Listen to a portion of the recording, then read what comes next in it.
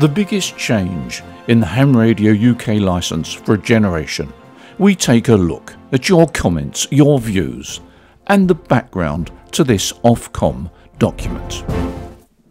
A couple of days ago, we published a breaking news video about the Ofcom document that was going to be a generational change to the UK ham radio licence.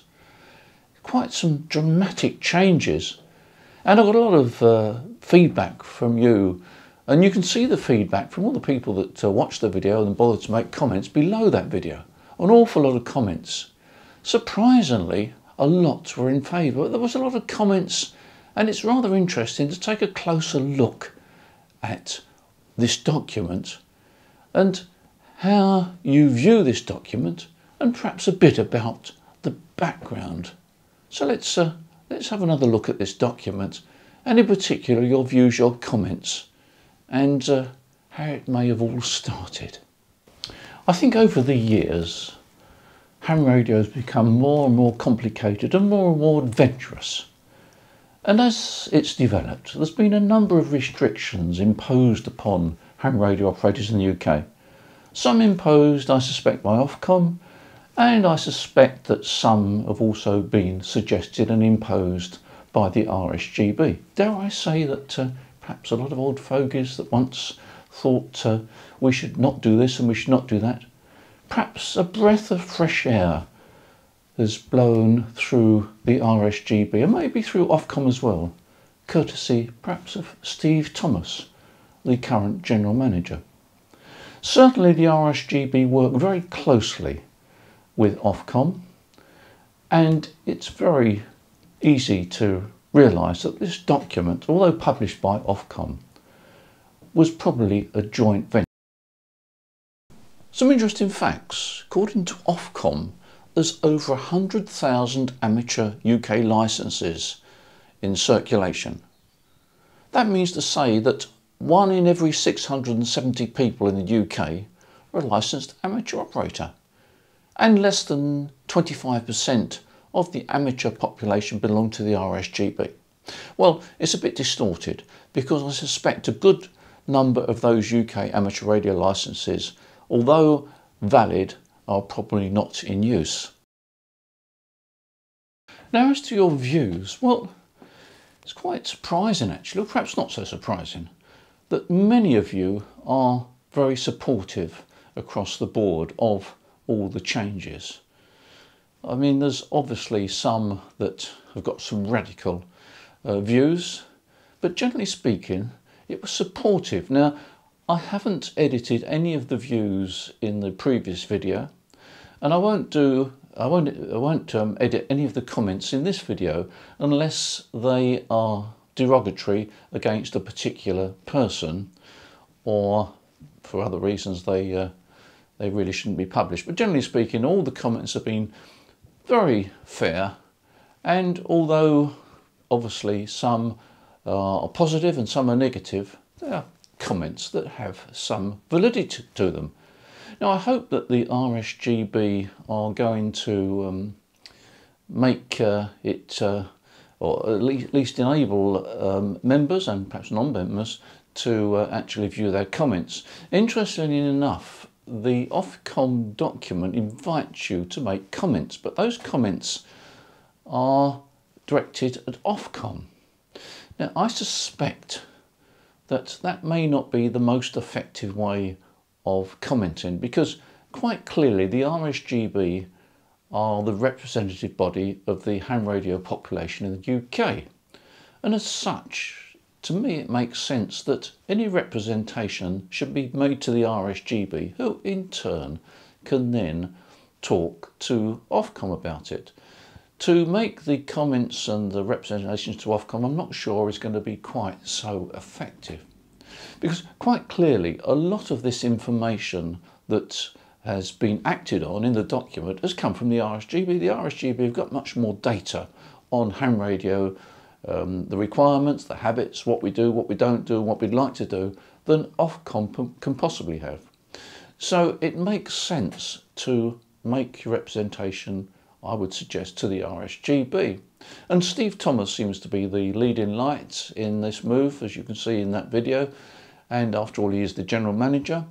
And I've put a link below um, this video to um, the general manager's uh, email address. Now, I purposely haven't put Steve Thomas's personal email address. I'm not don't want to be that cruel, but there is the RSGB do publish a general manager's email address, and I suspect this is obviously um, managed not only by the general manager but by some of his staff as well. But I do hope that they will listen, and I hope that perhaps the RSGB will have some forums around the country. I don't know, but it is your one opportunity in a generation to make representation on your views about the future of the UK ham radio licence.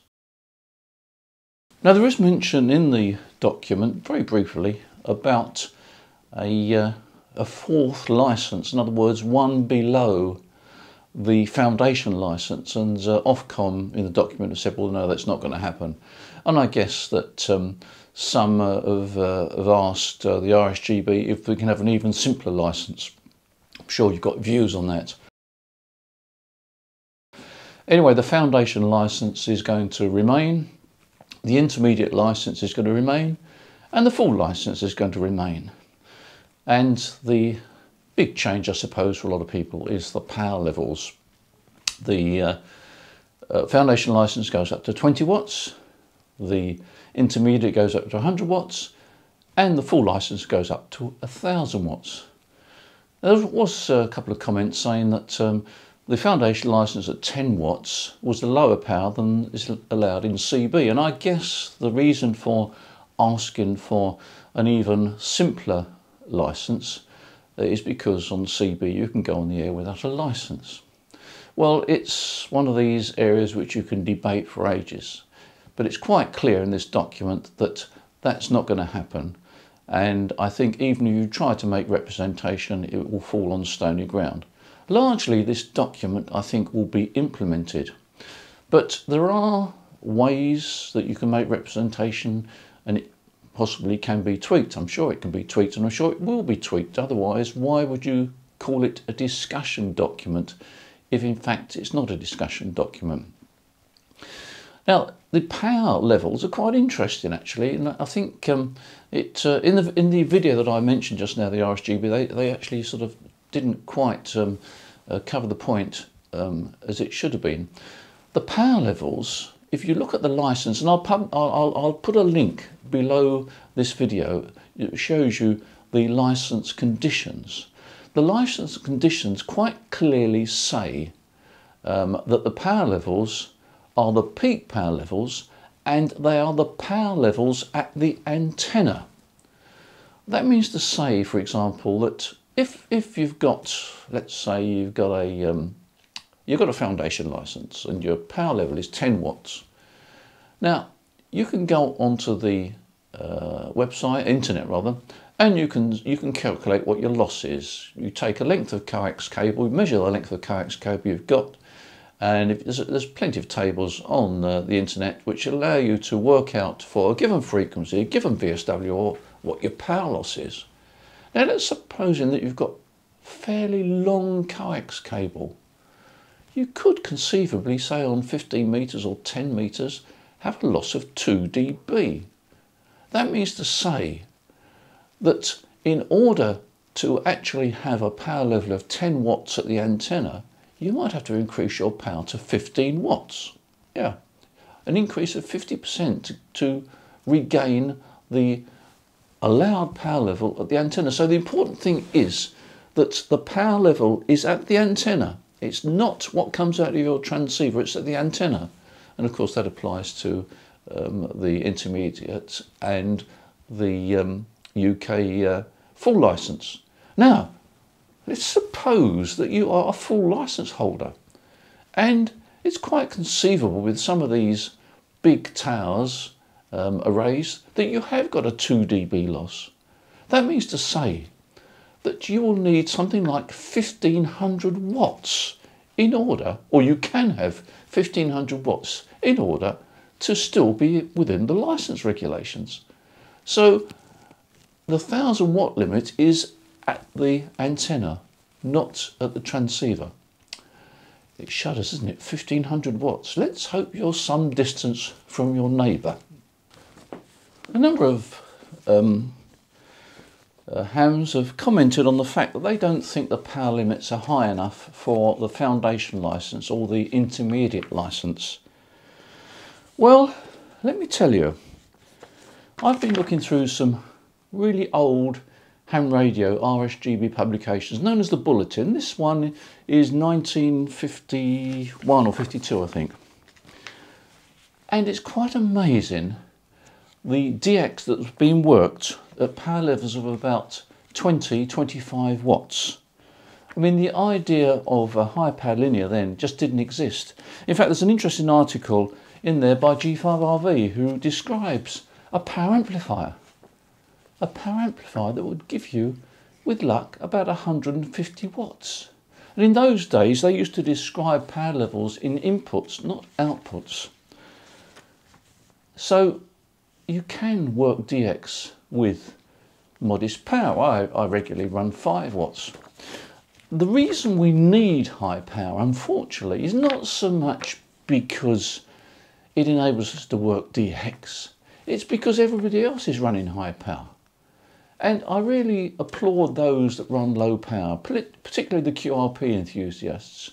And they have some spot frequencies, particularly on the CW area, and they do extremely well. And I work a lot of QRP stations, myself running 5 watts, and it's great fun.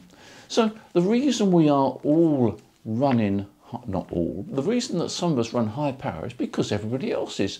And that really is what part of this change in regulations is about. We actually don't need a thousand watts to work DX. We could work DX on 400 watts. We could work it on 100 watts in most cases. But if everybody else is running a thousand watts, we need to be competitive. Otherwise we'd be squashed out. So that's the reason for the changes. You may agree, you may disagree. But I think as regards the power levels, that is one of the uh, changes that is going to come about and it's almost cast in stone. Now we come to call signs, and I think it's fair to say that uh, we in the UK have fallen behind a bit with the likes of uh, some of the European countries and certainly America. A vanity call signs, I think, is the term that would be appropriate for it. We do it with uh, cars, don't we? Number plates. We can have vanity number plates. Um, and why not vanity call signs? Well, there's the, the, the area covering call signs of the document is quite quite uh, a little bit complicated. You have to read it several times before you actually grasp it. And I think it'll be tweaked a bit and perhaps made a bit clearer. But basically, in future, you'll be able to choose your call sign within certain uh, restrictions. You'll be able to choose your call sign. It looks as if you can choose your vanity call sign and it looks as if you can have a two letter call sign. And it also looks as if you don't have to have the full prefix. In other words, if you're a GM station in Scotland, you can actually leave out the M if you want to, and if you're a GD station, you can leave out the D, and the same for Wales. And the same for Ireland. Not sure why you'd want to, and it could cause some problems with with uh, the CDXCC. But it's your choice. But anyway, let's talk about the vanity calls. I think there's been a lot of uh, people that have been confused. I have actually been confused. Let me tell you, this is a true story. I was uh, once told by somebody that you couldn't get a two-letter call sign, and I believe that. But then I looked and I found that there was a number of two-letter call signs being issued in the last few years. There's one very high up member of the RSGB It's got a two-letter call sign. And there's other examples I found, all of which have been issued in recent times. So I thought, okay, well, I'm going to test this out. So I got in touch with Ofcom and I got a standard reply. It ran to around about a full page of text. It was quite clearly just a standard reply, basically saying they don't issue two letter call signs. So I challenged it and I said, look, this, these are the examples of call signs you've issued. And I waited and I got the same reply again. So I then wrote back to Ofcom and said, look, I'm not interested in having this standard reply. It's a simple question. You say I can't have a two letter call sign, and yet quite clearly you've been issuing them. I got no reply. And I waited for about nearly six months. So I sent them a reminder. And the, and the reply I got from the reminder was the same standard full page of text. So I gave up there.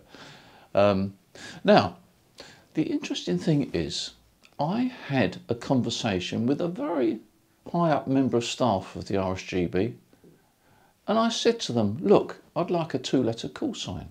And they said, You can have a two letter call sign. And they told me exactly what I needed to do. Unfortunately, it involved some level of deceit, which I wasn't prepared to go down. But it was interesting to learn that in actual fact you can circumnavigate it if you choose to, shall I say, bend the truth a bit. Anyway, it now looks as if you can have your two-letter call sign. You may have to wait a couple of years and it looks as if there's going to be a £20 cost involved in some of this. Actually, £20 is not too bad. I mean, you know, as, as, prices go these days, and bearing in mind that our license is free, a £20 cost is not too bad. So it'll be interesting to see how it pans out, how many two-letter call signs pop up around the bands, and how many people are uh, prepared to sacrifice their call they've had for the last 10, 20 or 30 years, and they're known by, to then pop up with the call sign that nobody's ever heard of for the last 50 years. But there we are, it's interesting. So that's the situation on call signs. Now, this document is quite complex and it needs a bit of reading.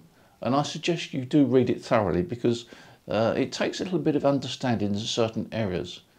But I think on, uh, we, we must really congratulate the RSGB on the amount of work. They've obviously done a lot of work in this document and it covers a large area and it is a generational change.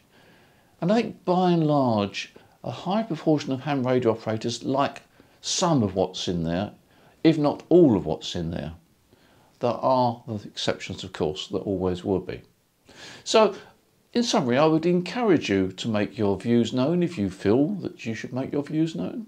And if you think that things should be changed, then tell the people involved. And as I said earlier in this video, I can't see that uh, going to Ofcom is going to be as effective as going to the RSGB, who after all are the official representation of a large body of ham radio in the UK.